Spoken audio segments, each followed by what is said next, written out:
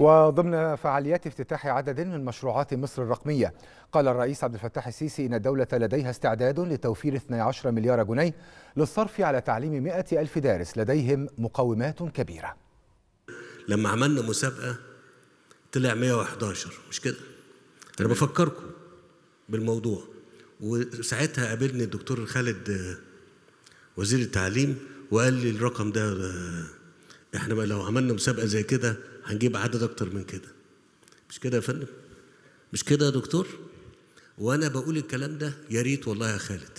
أنا أتمنى إن إحنا وأنا بقول لكم للمصريين اللي بيسمعوني دلوقتي والله العظيم لو اتوجد مئة ألف دارس عندهم المقاومات دي لا اصرف عليهم ال 10 12 مليار جنيه في تعليمهم. أنا بقسم بالله.